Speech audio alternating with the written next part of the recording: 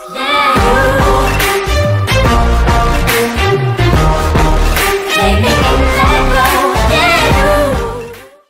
guys, welcome back. As always, I'm Sergeant Alpha, and today I'm going to do another quick how-to video. It's uh, pretty simple. It won't take but a couple minutes here to uh, kind of show you guys how to do it.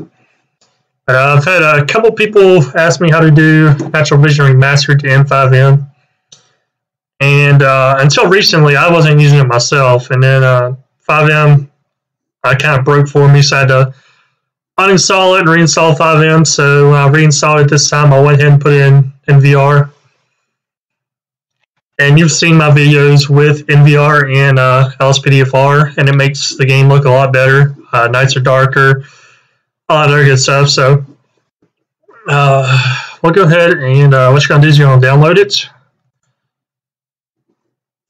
Already got downloaded and installed, so I'm going to really go through this. But uh, you click Save, and then um, in your download folder, you'd have the zip file, you'd unzip it, all that good stuff.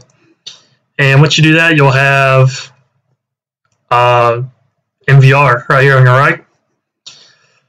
And don't worry about this file location. I've got it saved on my uh, external hard drive, and I've got all this other stuff going on. So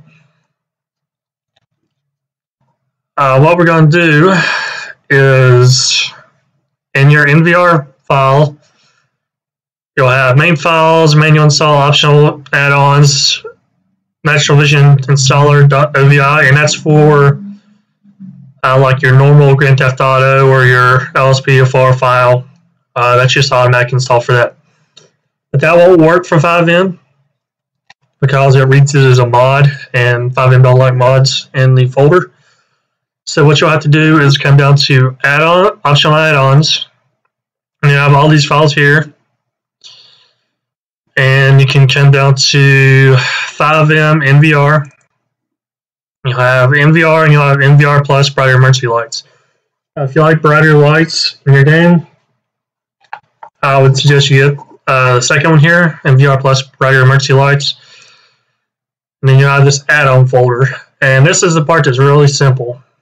You're just going to go over to your FiveM folder, open application data, and you're going to see drag and drop the add-on from your NVR to your FiveM application data, and that's that folder right there. Uh, so I've already got it in there, so I'm going to drop it over there. So where I've already got saved in there. But uh, that's really all you have to do to get NVR into FiveM. That's pretty simple. It's uh, just pretty much drag and drop.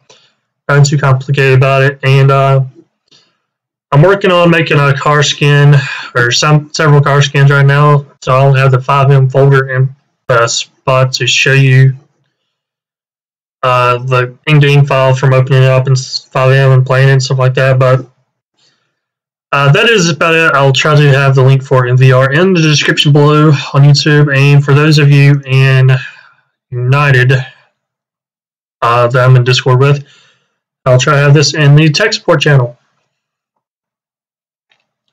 But uh, that's going to be all I have time for. Uh, later on, I'll show you guys how to put in brighter emergency lights um, for FiveM. And uh, I've had several of you ask me how to do uh, the map zoom data for FiveM. To where if your uh, server has postal codes on FiveM, where sometimes if you zoom in, the postal codes will go away, it'll revert to the normal GTA file map